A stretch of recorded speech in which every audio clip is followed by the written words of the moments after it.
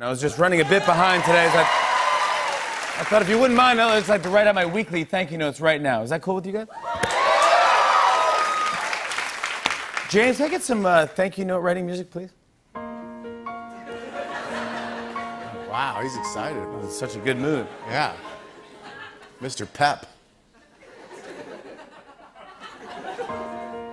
Thank you, fall, for being the one season when it's stylish to dress like the couch in your parents' basement.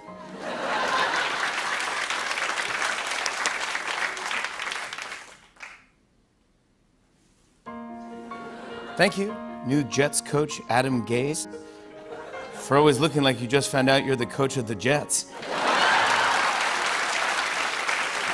What? I'm the coach of the what?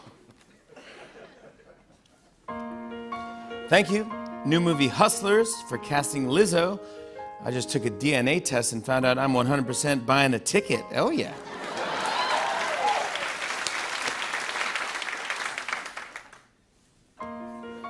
Thank you, Italian restaurants whose menus are in Italian, for giving me two ordering options pointing at the menu like an idiot or sounding like Super Mario. I'll have a little linguine puttanesca.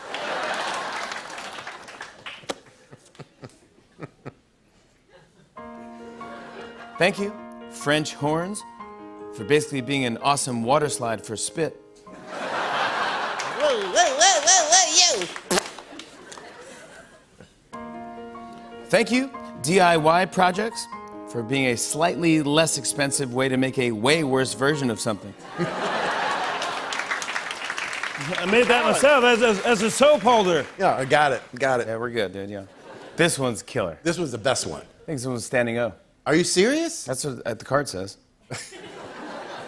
We're gonna ask the audience for a standing ovation after this. Really?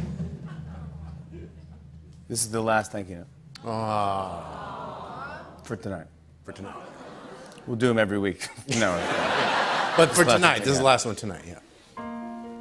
Thank you, fancy Bloody Marys. I enjoy all the extra stuff, but at this point, you might as well just give me a Cobb salad covered in vodka. There you guys have it. Those are my thank you notes. On and on. Uh, I said, and it's on and on and on.